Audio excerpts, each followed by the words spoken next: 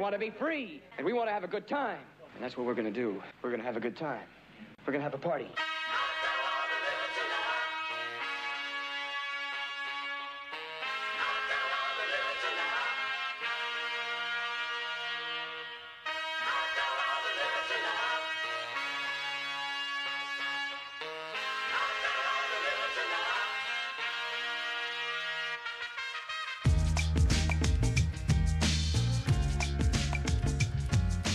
Good morning, Wolfpack. I'm Brennan Smith. And I'm Jody Guerrero. Today is Wednesday, February 11th, and we're here with your morning announcements.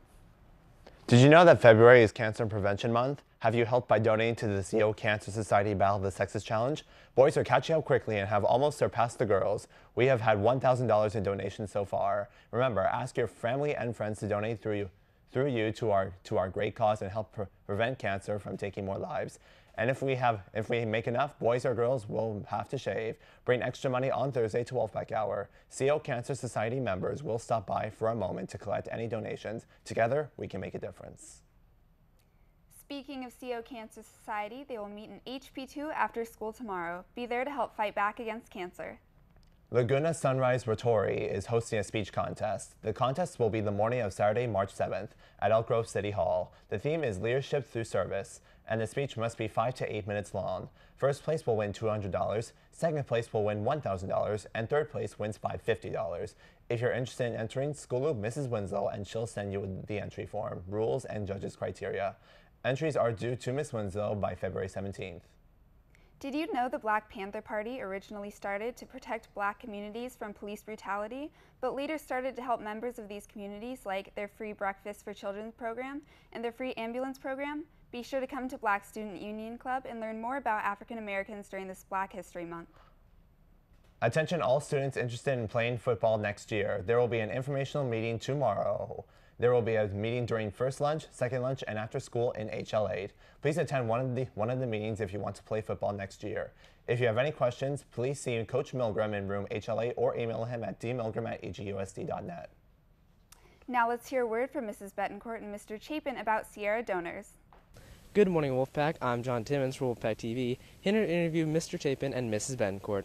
On January 11th, they were both invited to the Sierra Donor Services 2015 Ambassador Appreciation Event at the Aerospace Museum. Mr. Chapin and Mrs. Betancourt were awarded for their partnership with Sierra Donor Services and for their involvement in helping to teach students about the realities and benefits of being an organ donor.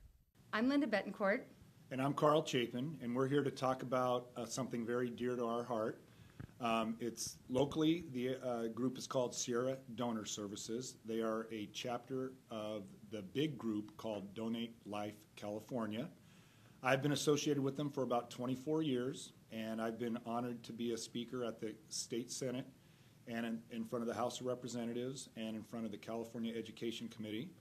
And recently, Linda and I were honored at their appreciation banquet for uh, our efforts that we have uh, done for the group uh, while teachers here at Cosumnes Oaks High School. We have presenters that come to our classes every term to talk about organ donation and the importance of it and the role that we at Cosumnes Oaks High School can play as students and as staff in educating and helping people to make a decision so that when that time comes in their life that they are very clear about what they want to do, the benefits of organ donation and how uh, they can begin to participate even now.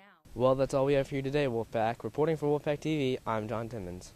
Now let's pass on over to Sunny and Victoria for your weather update.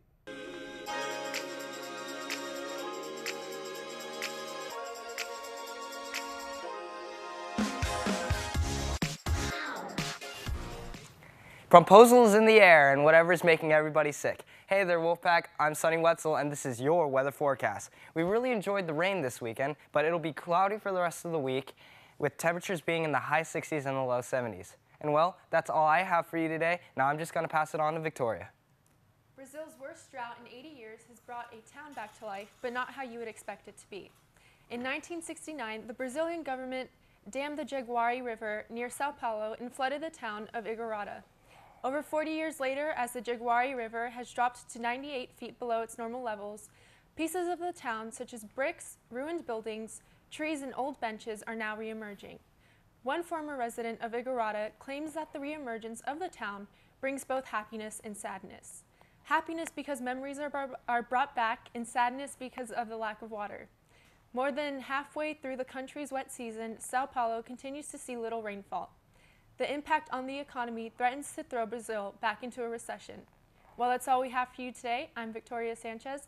Back to you, Brennan and Jody.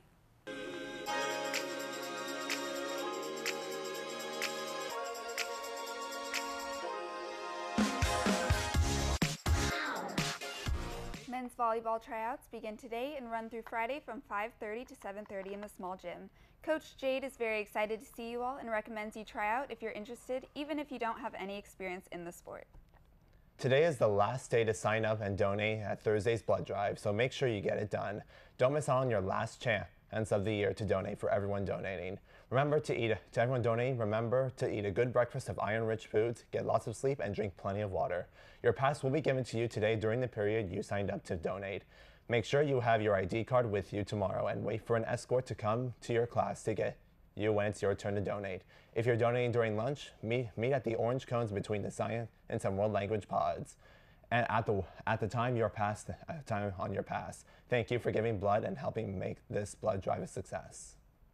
Have a wild imagination and love telling stories? Then the Creative Writing Club might be just for you. Meetings take place on Fridays from 3:30 to 4:30 in room HE3. Please join them on their next meeting, which is this Friday. Contact Shreya Kumar if you have any questions. Sophomores and juniors, Link Crew is looking for leaders to link the class of 2019 to the Wolfpack. Information and application is now available on School Loop. Applications are due to Miss Winslow in HM2 in her or her tour box in the office no later than 3:30 p.m. on Monday, February 23rd.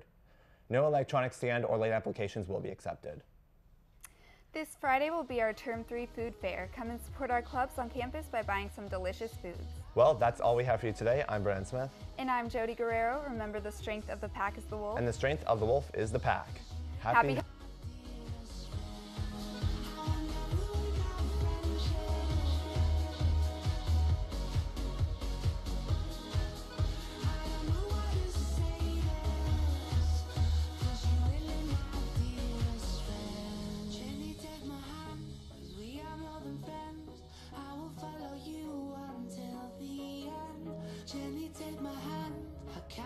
pretend why I never like your new boyfriend.